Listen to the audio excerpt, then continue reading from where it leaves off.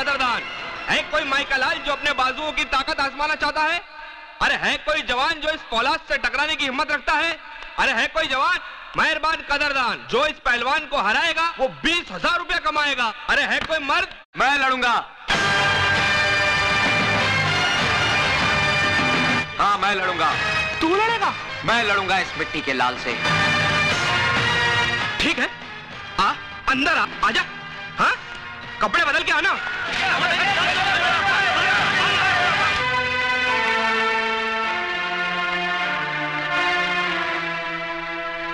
इसके पैंतीस मिलेंगे।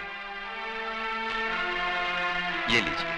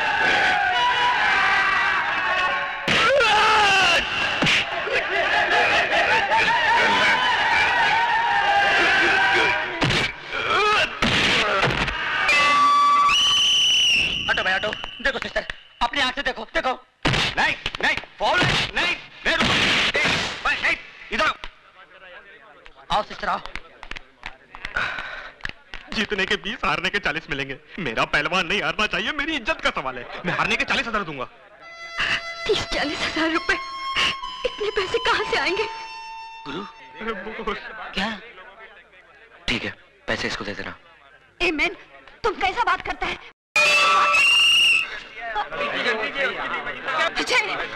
पूरे चालीस गिन ले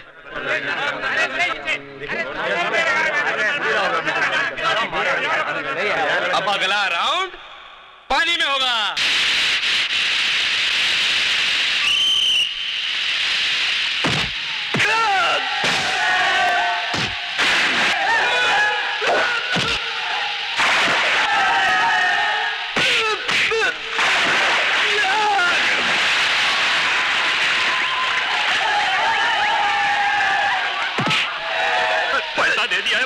मारने के लिए नहीं मार खाने के लिए। हो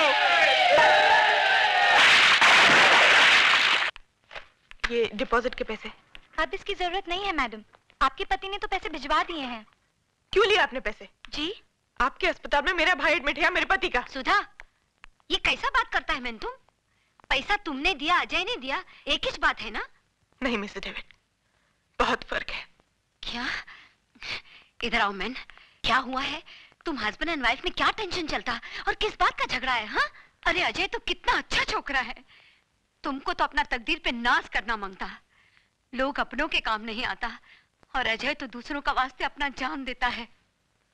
मिस्टर डेविड वो जान देता नहीं जान लेता है।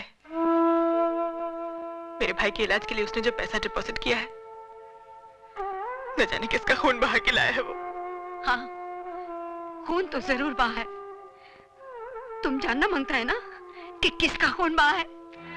हम हम बताएगा तुमको। बताएगा कि किसका खून चलो।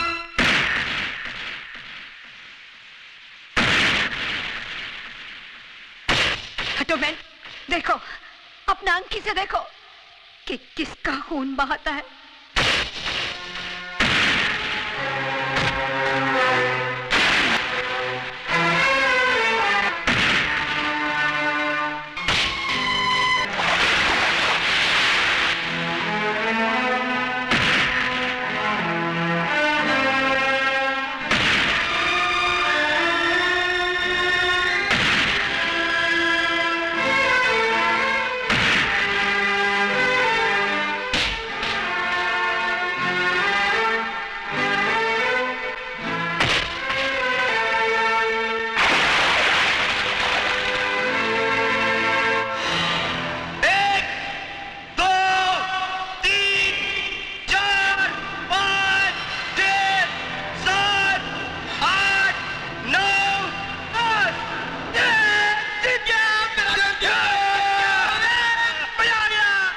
बदला लिया एहसान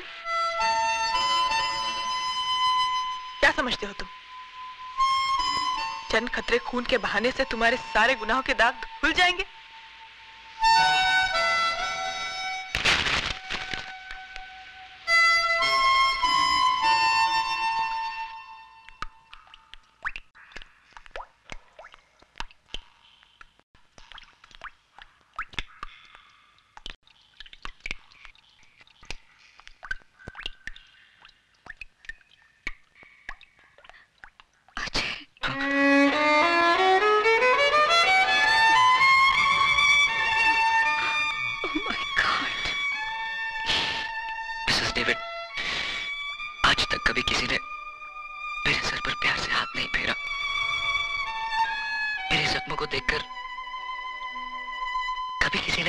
नहीं जताई हमें हम है ना बेटा काहे को फ़िक्र करता। लेकिन एक बात तुम हमको बताओ ये अचानक सुधा तुमसे इतना नफरत काहे को करने को लगा। एक खूनी नफरत के ही लायक होता है। तुम खूनी? नो तुम खूनी नहीं हो सकता। हमारा दिल बोलता है ये तुम्हारा दिल बोलता है ना, मिसेस डेविड? क्योंकि तुम्हारे पास दिल है। लेकिन जिन लोगों ने मुझे जन्म देकर कचरे के डब्बे में फेंक दिया, उनके पास दिल नहीं था। अन्ना, जिसने मुझे पाला, पोसा, दिल उसके पास भी नहीं था।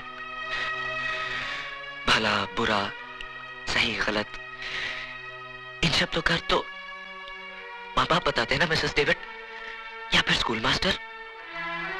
लेकिन मेरा तो स्कूल भी अन्ना सबक भी अन्ना और मास्टर भी अन्ना। न जाने कितने खून कितने गुनाह करवाए उसने इन हाथों से। और तो और सुधा के पहले पति की मौत का कारण भी मैं ही हूँ।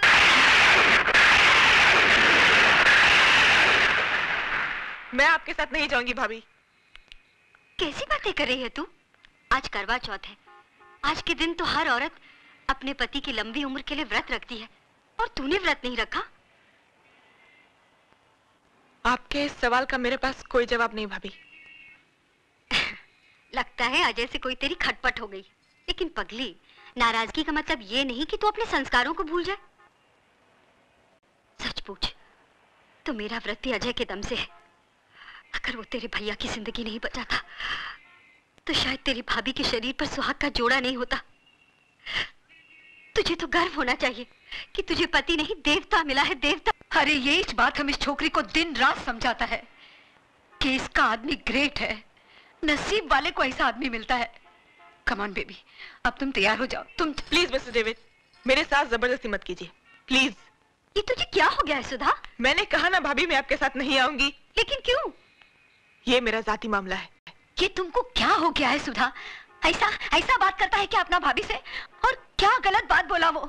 तुम्हारा धर्म में तो पति को भगवान मानता है। और आज भगवान भगवान भगवान! जिसे आप लोग अपनी पलकों पे सजाए बैठे हो, वो मेरी पूजा तो क्या किसी के नफरत के काबिल भी नहीं है। खिलवाड़ हुआ है मेरे साथ, खिलवाड़!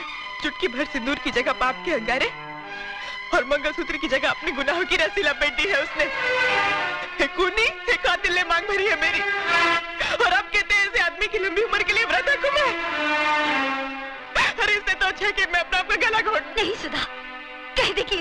है यही सच है, भाभी। न जाने कितने लोगों के खून से हाथ रंगे हैं उसके। और तो और, भाभी, रवि का भी खून उसी ने किया।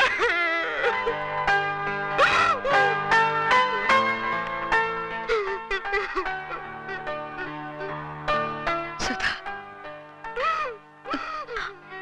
हम तुम्हारा तकलीफ़ को समझता हम भी ऐसा पेन से गुजरा। तुमको क्या लगता? हम रात दिन ये डेविड डेविड काहे को करता? क्योंकि आज हमको हमारा गलती मालूम पड़ता कि हमारा डेविड का खून का जिम्मेदार हम है हम। हाँ, हम उसको बहुत प्यार करता था। शादी का बाद जब हमको मालूम पड़ा कि हमारा डेविड एक क्रिमिनल था वो जेल जा चुका था। हमारा प्यार नफरत में बदल गया। उसने हमको बहुत समझाया कि देखो, हम ये रास्ता छोड़ दिया। अब हम क्राइम नहीं करता है, लेकिन हम उसके बाद का भरोसा ही नहीं किया। ऐसे ही बिल्कुल ऐसे ही नफरत करता था हम उससे, जैसा आज तुम अजय से करता। लेकिन लेकिन उसका अंजाम क्या हुआ मालूम? हमारा डेविड ने सुसाइड कर लिया। आत्महत्या कर लिया हमारा डेविड ने। खाली हमको बताने का वास्ते कि अब उसने गुनाह का रास्ता छोड़ दिया है।